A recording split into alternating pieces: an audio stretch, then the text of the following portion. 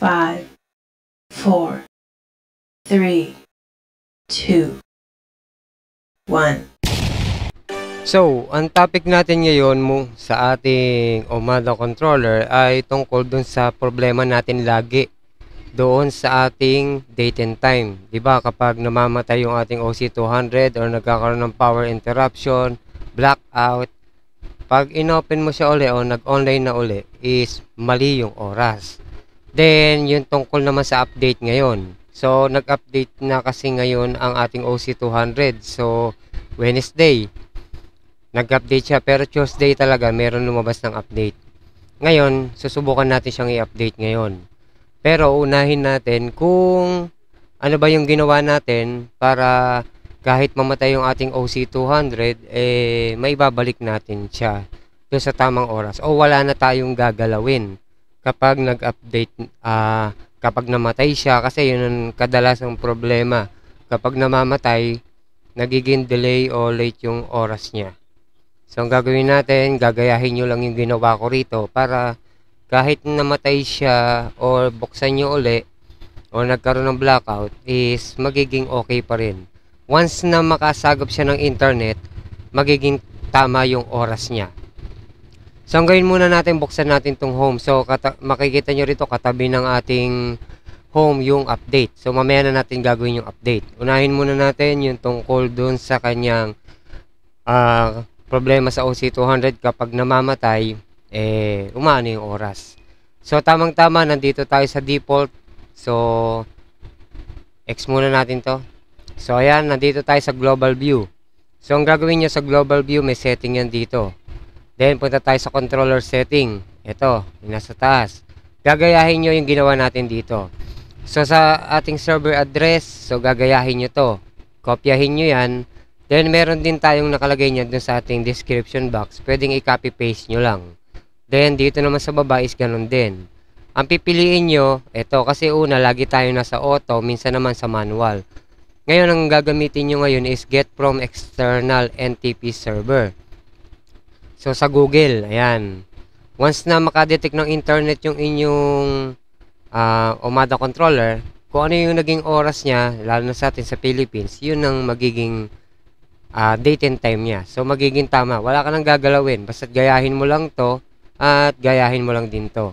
So, ito po is hindi po ako naka, ano nito, nakakuha nito. Nakita ko lang to sa Facebook. Ngayon, sinubukan ko. Eh, effective. Eh, ang problema rito, nakalimutan ko yung mismong taong yun na nag-post niyan. So, kagandahan naman sa mga ganyang klaseng tao, kapag may alam siya, binobroadcast niya sa Facebook para malaman ng iba at makatulong din sa iba. So katulad ng ginawa ko, may nalaman ako, ngayon ipo-broadcast ko naman sa YouTube. Kung sino yung makakapanood tungkol dito, is mawawala na yung problema nila tungkol sa date and time kung bakit delay, late, or kapag namamatay is bumabalik sa default. So yan na po yung solusyon natin. Effective po yan dahil ginagamit ko na siya ngayon. Then, ang gawin natin, balik tayo sa ating dashboard at tungkol naman dun sa ating uh, bagong update. So, titingnan natin yung ating bagong update ngayon. So, ayan, mapapansin nyo may bagong update. So, ito nasa taas. So, kiklik ko yung update. Tingnan natin kung ano yung laman. Ito, a new version of Omada controller is available for upgrade. So, built in Omada SD ang controller 5.13.30.20 na po tayo ngayon. Then, ano ba yung mga i-update? So, ito siya, yung, uh, yung added support for layer 3 switches future. So, ibig sabihin, para sa mga tatlong switch na.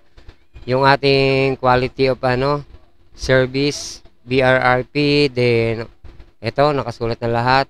Optimize the public IP address column and device list. Optimize the global view of viewer account, allowing user viewer permission to see site they can access in global view. So, sa global view yun, yung kanina, yun nandito sa taas. Then, ang importante kasi itong mga to, yung nakalagay na fix. Yan, yung bug fix. Kasi minsan yung ibang device dito, pag in-upgrade mo, nagkakaroon ka ng ibang problema sa device. Kunyari, nag-upgrade ka ng ER605, hindi nagiging compatible dun sa OC200 mo or dun sa mga EAP mo. Kaya dapat ang gagawin mo, eh, iya, ano mo siya. uh, ginagawa nila ng solusyon na ma-fix yung mga problema na yon. So katulad niyan, uh, fix the bug uh, that the static IP of one port could not be set with a 31-bit mask. So lahat ng mga yan, so basahin nyo na lang. Importante po yan na ipipix niya lahat. At nandito yung configuration steps sa uh, fix the bug that controller takes up uh, a lot of disk space. Yan, yan, importante yan sa mga disk space natin. Then, dito naman sa ito, yung ating power sa transmit. Then, ito naman, ito, importante rin to, yan. Sa mga EAP naman yan, dun sa ating sa ating WLAN. So, yan yung mga ano niyan. So, ang gagawin mo, pag nabasa mo na yan, dahil kailangan mo rin talagang i-upgrade para ma-fix yung mga problema, yung mga bug, so i-upgrade natin natin siya ngayon. Ngayon, papakita ko muna sa inyo yung ating OC200. Okay. So, ayan, makikita nyo yung ating OC200, naka-online. Then, yung ating upgrade sa ating dashboard, ito. So, i-upgrade na natin siya. Titignan natin kung gaano katagal. Okay? So, kiklik ko na. Upgrade. Then, yes. So, ayan. Makikita nyo, magda-downloading na siya. Makikita nyo sa ating screen na nagda-downloading siya. At makikita nyo rin dito na naka-online pa rin siya. So, nag-uumpisa pala mag-downloading, then hindi yan dapat ma-interrupt. So, pagtapos mag-downloading, ang mangyayari, doon na ngayon mag-offline yung ating uh, ah, OC200 dahil i-install naman yung bagong firmware. So, yung iba kasi takot mag-upgrade o takot mag-update ng firmware dahil daw sa mga problema, nangyayari naman talaga yon Kasi minsan nangyayari na kapag nga yung katulad na sinabi ko kanina, nag-update ka ng ibang device, hindi naman naging compatible doon naman sa hindi updated. So, ang gagawin, i-update ngayon nila yung device na yon dahil maraming PM sa kanila na may error or may mali. Ngayon naman, pag na-upgrade mo na yon at na-update mo yung firmware, nagkakaroon naman ng problema sa iba. So, nangyayari yung mga ganun din. So, normal naman na nangyayari yon At doon naman sa sinasabi ko yung problema doon sa ating date and time na kapag namatay yung OC200 at pagbukas nyo is ano na, delay na yung oras o kaya eh late na late na sobra o kaya hindi nyo maayos. So nandyan din sa video pinagsama ko na yung dalawa para malaman nyo. At doon naman sa taong nagbahagi niyan nung tungkol doon sa date and time para wala na maging problema eh nagpapasalamat naman ako at nagamit ko at okay naman. At syempre uh, ipo-broadcast ko na rin para malaman din ng iba na namumblema tungkol doon So ngayon nakalagay na dito sa ating screen is this may take several minutes. Please wait without any operation. So ibig sabihin, kalma ka lang, wag mong galawin, hayaan mo lang siya mag-update. Then nag-offline na yung ating uh, ah, OC200. Ayan, wala na yung cloud. So ibig sabihin, offline na siya at nag install na ng bagong firmware. Pagtapos kasi mag-download, so na-download na niya, i-install naman niya manually. So ngayon, ayan, nakalagay dyan is rebooting naman. So hintayin mo yan. Wag dapat ma-interrupt kasi pag na-interrupt yan, ako po, malaking problema. Masisira yung firmware. So kahit matagal, hayaan mo lang, kalma ka lang. Kaya yan, pinapakita ko sa video kung gaano siya katagal. Para malaman nyo kung paano. So ayan, lumabas dito, the controller is offline. So, hintayin natin siya. Manual na natin siyang hintayin habang nag-ano tayo. Yung kasing ano, yung kanina, yung pinakita ko tungkol dun sa date and time. Nakita ko lang sa Facebook yun. Eh ngayon, sabi ko, mukhang okay naman siguro kung tatry ko. Wala, wala naman problema doon kasi madali naman ibalik sa, di, sa dati yan eh. Tinry ko. Then, pinatay ko yung OC200. Ba, sabi ko okay ah, gumana ng maayos ah. Tsaka ano, updated na yung oras niya, pati yung ano, yung araw. Sabi ko okay to ah. Nilagay ko na. Ngayon, yung ibang date naman dun sa mga nagpa-voucher sa akin na may mali, Dahil nga yung lumang voucher yon dahil nag-up, nag-upgrade nga ako ng firmware din, Aba, tumama lahat. Nag-eksakto lahat sa oras natin. Yung iba kasi doon na merong limang oras na delay para matapos o ma-expire yung voucher. Eh hindi na, naging tama na lahat. Kaya wala na akong inayos, di na ako gumawa ng bagong voucher. Sabi ko, okay. Sabi ko, okay yung taong yun ah. Hinanap ko ngayon sa Facebook. Ang problema, hindi ko na siya makita. Eh, ewan ko kung kailan pa susulpot. Hindi ko rin matandaan kung ano yung kung saan siya nag-comment. Eh, kakausapin ko sana o PPM ko sana. Kaso, hindi ko na talaga makita eh. Parang dumaan lang dun sa wall ko, tapos hindi ko na makita. Eh, hindi ko natandaan kung anong page yung pinasukan niya. So, ngayon, eto, nasa kalahati na tayo, 50% na dun sa ating uh, rebooting. So, rebooting kasi nakalagay eh. Pero alam ko, installing ng firmware yan eh. Pero nakalagay, rebooting. So, hintayin lang natin siya. Dapat kalma lang kayo. So, makikita nyo naman is online yung ating switch. Online yung ating ER605. Online yung ating hex. So, yung ating OC200 lang ang offline, yung cloud. Pero yung ano naman niya, dito, system running naman lahat. So, yan lang ang hintayin natin. Dahil lahat ng EAP natin is naka-standby naman at okay naman. So, ito, malamang hindi ko ikakat to para makita nyo kung gano'ng katagal. At hindi ko rin alam kung... Nung una kasi, nung hindi ako gumagamit ng hex na gigabit na katulad nito, at iba naman yung config niyan, eh, matagal minsan bumukas yung OC200. Eh ngayon, nag-upgrade ta eh, nag-update tayo ngayon ng firmware at nakakabit si Hex. So, doon ko rin malalaman kung mas mabilis na talaga siya ngayon kumpara nung ginagamit ko yung half-light. Kasi nung una half-light, ang bagal niya. Eh. Oh, pero para sa akin, mabilis pa rin yun. Pero kumpara mo kay Hex, mabagal siya. Eh ngayon, si Hex na yung nakakabit at na-tested ko si Hex na mabilis siyang mag-reboot yung OC200. Dahil ngayon is nag-upgrade tayo ng firmware, hindi ko lang alam kung mabilis pa rin siyang mag-online or hindi.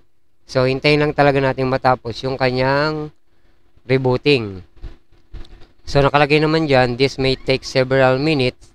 Eh, ako naman, pa nag-upgrade, mas gusto ko madaling araw. Para konti lang yung nakakonect sa mga AP mo. At yung internet, eh, hindi masyadong na-interrupt. Tapos, doon nga pala sa iba na nagtatanong, katulad nung isang nag-comment sa akin, bakit daw sa umaga, tanghali, hapon, ang taas daw ng uh, usage at doon sa utilization ng mga EAP natin. Sabi ko, normal yun. Bakit normal? Siyempre, umaga, tanghali, hapon, maraming tao sa kalsada. Maraming may mga device, cellphone na nakabukas na nakakasignal dun sa mga EAP natin. At syempre, dagdag na rin dun yung mga sasakyan na dumadaan. Nakaka-interrupt. Kaya tumataas. Tapos sabi niya, sa gabi daw, malakas daw ang signal. Natural, malakas. Kasi, iilan na lang yung tao sa gabi, kukonti pa yung mga sasakyan. So, ayan. Nakalagay na. Natapos na. Then, nakalagay is failed uh, to connect to controller. So, kahit i-click natin yung retry, wala pa rin. So, ang gagawin ko, i-X ko to. Yan. So, nandito tayo sa una. Then, ito naman is i-refresh ko. So, mapapansin nyo, offline. Walang lumalabas. So, dahil offline dun sa dashboard, tignan nyo rito. So, talagang hindi pa bumabalik. Pero tansyahin nyo yung ginawa natin na pag-upgrade ng firmware. Kung gaano katagal uh, mag-download, kung gaano katagal uh, mag-install ng firmware at kung gaano katagal mag-online yung OC200. So, since ngayon nakalagay sa dashboard is offline. Then, yung kanyang cloud dito is offline din. Ang bukas lang natin is si ER605 na naka-online, si Hex at yung ating switch. Then, refresh tayo ulit. So, offline pa rin. So, hintayin natin siya. So, dito natin malalaman yung tagal. Dito naman, so, nakalagay is 5.13.24. Hindi pa hindi pa ata ito yung ano. Hindi pa yan yung bagong firmware. So hintayin muna natin siya mag-online. So magbukas tayo ng isa. Ayan, yung kanyang cloud. Ito, ayan. So, so offline pa rin. Hintayin natin siya mag-online. Sa ako magre-refresh lang muna. At maghihintay kay cloud para bumukas. So, ganyan katagal ha. Ganyan katagal yan. Manual na natin itong ginagawa. Okay. So, wala pa rin. Di pa rin nag-open yung ating cloud. Hintayin natin. Pag ganyan kasi, huwag kayong kakabahan. Yung sabi nyo, ang tagal-tagal, yung iba naman, inaabot ng halos isang araw. Kasi minsan, kapag inaabot nyo ng isang araw, iba na yon Either na may problema sa IP, hindi makapag hindi siya mabigyan ng IP address o sadyang mabagal yung internet. Kaya nga ako, kahit mabilis yung internet ko, sa madaling araw ko ginagawa eh. Para talagang konti lang yung gumagamit nung internet at konti lang yung sumasagap ng mga device doon sa mga antena natin para hindi ma-interrupt. So, yun ang ginagawa ko madaling araw. Ngayon, pag ito matagal pa rin mag-offline, ah, mag-online, so katulad niyan, matagal pa rin siya kahit nagre-refresh ako, hindi pa rin bumabalik yung cloud. Pag yan hindi bumalik, isa-shutdown ko lahat. Okay, so yun gagawin ko. Kaya ako isa-shutdown lahat para ma-refresh yung history ng ating ER605 at ni Hex para makakapagbigay ng bagong IP kay OC200. Since naka-fix IP naman yung OC200 natin, so sa akin lang kasi matagal yung kanyang download ng firmware. So tingin ko uh, medyo malaki yung firmware na in-install sa kanya kaya matagal bumukas. Eh, hindi ko naman basta pwede yan patayin. Yung nakaganyan siya, tapos papatayin mo. Minsan doon nagkakaroon ng problema. Yung sobrang tagal, tapos akala mo, ayan, nag-online na. So, mapapansin nyo, may ilaw na yung ating OC200. Umilaw na yung kanyang cloud. Ngayon, ang gagawin natin ngayon is yung dashboard natin, i-refresh natin. Para malaman natin kung talagang online na siya. So, mapapansin nyo kasi, ano, nag-online na. So, ganun katagal. Ngayon, device nakalagay is 6. Then, sa ating mga client, 0. So, yun ang hindi ko alam kung magkakaproblema tayo sa client. Kasi, yung client natin nawala lahat. So, yan ang mangyayari. Then, ito, connection is establishing. Nawala yung mga ano natin, client. Kasi makikita nyo rito, ayan o. Oh, upgrade, then client. So, naka ano tayo. Ayan, tumaas nga. Kasi yung isa, 5.13.24. Ito naman is 5.13.30.20. So, mataas na siya. So, dito, X muna natin yan. Then, dito muna tayo. Buksan natin siya. So, ayan, nag-black screen na. So, ibig sabihin, pasok na tayo. Yung client ko, nawala lahat, oh. Nawala yung client. Okay. So, check natin. So, ganun katagal, ah. Yung sa akin. Ewan ko lang yung sa inyo. Basta't yan, matagal na matagal na matagal na at hindi nag-online, bunutin nyo. Kasi sa akin, isang, ano lang yan, uh, isang extension yan lahat. Isang bunot ko lang dun sa may likod. Lahat yan mamamatay. Tapos sabay-sabay kong buksan. So dito nakalagay is wait. So waiting lang natin. Tignan natin kung ano nangyari. Uh, refresh ko muna. Operation timeout. So nag-iba yung itsura nyo. Yan. So, yan lumabas. Operation timeout muna. So, refresh natin uli. Ba, may nakalagay po. Oh. No internet capacity, one health, gateway health, switch health. Ba, ang daming nadagdag ata ah. So, ganyan katagal. So, wait. Sige, wait lang. Puro tayo wait.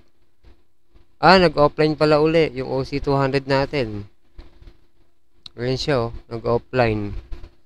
So, nangyari na rin yan dun sa may isang, ano, yung isang firmware na nung nag-upgrade ako ng OC200, ganyan din. Nag-online, then nung nagbubukas na ako, nag-offline. So, eto, ganun din. Siguro, nag-reboot siya uli. So, X muna natin yan. At dito naman, sigurado, lalabas sa dashboard natin, offline. Kasi walang ilaw yung ating cloud sa OC200. Pero dito naka-online siya. Nirefresh ko na yan. Pero dito, wala pa siyang ilaw. Namatay siya uli. Pero yung kagandahan niya, makikita nyo manual kung ano yung nangyayari. So, yan, naka-online siya rito sa ating dashboard. Then, binuksan ko yung home. Siyempre, waiting to. Kasi offline yung cloud natin. Ayan, oh. Nag-offline siya uli. So, hintayin natin siya. So, wala pa. So, panabagong hintay uli yan. Basta't mga ganyan nangyayari, dapat mag matuto kayong maghintay. Huwag yung pag natagalan kayo, bubunutin nyo, papatayin nyo. So, nakakasama yun. Mamaya nag install ng firmware eh. Bigla nyo pinatay. Yun ang magiging malaking problema. Kaya dapat, ihintayin nyo siya. Hayaan nyo siyang bumukas ng kusa. Pero ngayon, kung inabot na ng oras na, matagal talaga, panahon na para bunutin nyo lahat sila. Bunutin nyo yan. Sa akin kasi isang saksakan lang. Pag binunot ko, lahat yan mamamatay. Then, hintayin ko ng 10 seconds o 15 seconds. Then, tsaka ko uli sasaksak. So, ayan, wala pa rin, no? Waiting tayo. Hintayin lang natin siya. So, dito kasi sa, ano, computer, hindi ko na siya inoorasan. Kumbaga, hintayan na lang, tansyahan. Since nag-offline siya, hintayin uli natin. Medyo matagal. Ah, okay. So, wala pa. Refresh lang muna ako ng refresh. Matagal pa yun eh. Ayan, offline. Na-detect na na offline siya. So, hintayin lang natin siya uli. Mhm. Tagal na. So, ginagawa ko, nire-refresh ko lang na nire-refresh. Hintay ulit tayo. Siguro to mga 10 minutes. 5 mi Ayan, nag-online na. So, ngayon, re-refresh ko na yung dashboard natin. Ayun, naka-online na. Then, ayan, lumitaw, 19 clients. So, ibig sabihin, detected na yung client natin. Then, buksan natin yung dashboard. Yung ating home. Okay, nag-black screen na, dark mode. So, kita nyo, medyo matagal. Ayan na. Then, punta tayo sa ating home. Sa ating, ano, mismong, ano natin, OC, eh, OC 200. Sa ating pa-voucher na. Ayan na. So, gateway, switches, AP, 19 clients. Then, okay na. So, ito, nakikita nyo, may bago, iba na yung nakalagay. 100 Mbps capacity, 2.7 utilization. At pwede mo rin siyang i-edit yung, ayan, kung ilang MB ang speed ng internet. Then device, so, tingnan natin device natin. Device natin, tingnan natin. So, okay lahat. Client. So, ayan. O, yan. So, lag siya ngayon dahil yung iba nakalan, no? Kaya ganyan. At least okay na. So, ganun lang siya katagal. Then, obserbahan ko pa siya uli. Pag, ano, pagkatapos natin i-upgrade, then obserbahan natin kung ano mangyayari. Okay, so medyo mahaba na. So hanggang dito na lang. Then sundan nyo na lang yung ginawa natin dun sa ating controller setting sa kanyang date and time para hindi na kayo mamblema. Okay, so hanggang dito na lang muna.